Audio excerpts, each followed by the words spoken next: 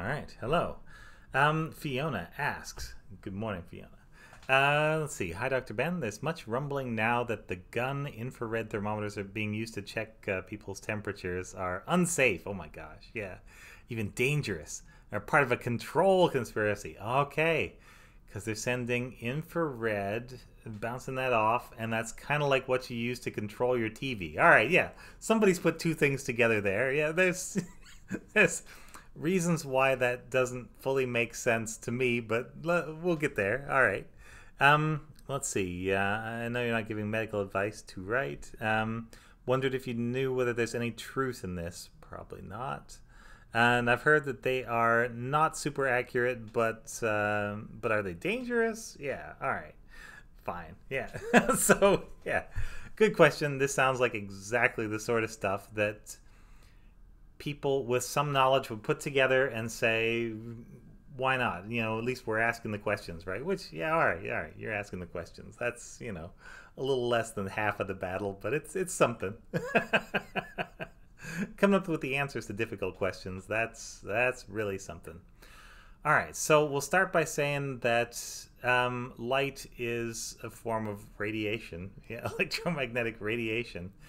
And this is the part that our eyes happen to be able to receive fairly efficiently. And we got a range. We've got a couple of different uh, proteins called opsins that um, have a little molecule that slots into them that changes shape when a little beam of light hits it. And oh my gosh, there's a whole biology lesson there and how those things work that I only partially understand.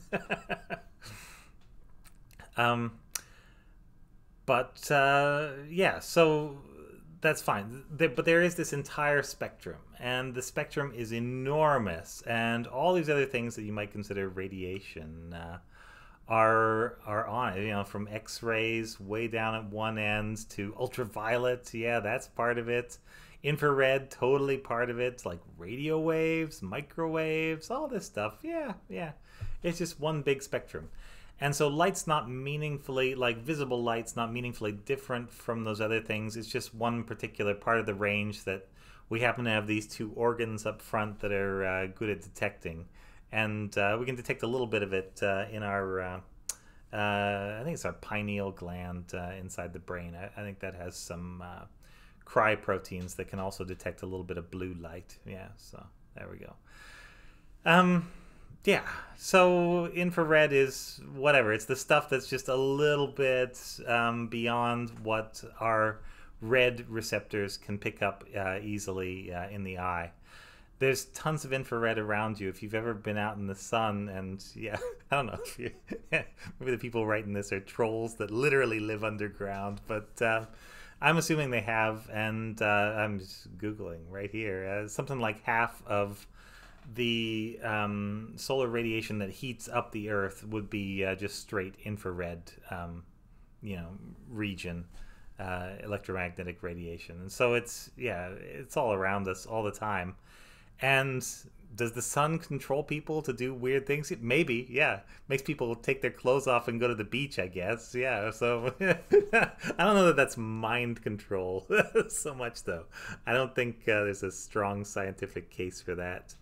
Um, as for yeah, the idea that it could control your brain like a remote control, you can try a little experiment at home where you you know yeah under uh, supervised conditions, uh, get somebody to point a remote control right at your head. Yeah, just, just like from you know the side or whatever, and you know. Uh, tell them to push numbers and then see if you can tell what numbers they're pushing and you want to do this for maybe um, 20 different numbers, and you want to make sure that you can't see.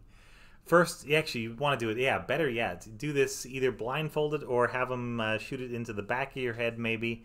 And you should be able to tell when they're pressing a button. That's difficult, uh, especially if you have something blocking your ears so you can't hear the little sound of the soft button press and uh, they should also be able to tell what uh, you're pressing because each of those is a different signal and it might not seem like a nine to a person, but they ought to be able to, you know, you could you could teach them. You could like, okay, this is one, this is two, this is three, four, five, six, seven, eight, and I don't I don't think there's any way that uh, the human body even has to detect that stuff. Uh, yeah, unless it's that microchip that Bill Gates put in your brain or whatever, which is also not a real thing. Yeah, I don't think there's any. Uh, I don't think there's any reason to worry about this. This is not a real thing. It's just a plausible sounding um, sort of bit of pseudoscience.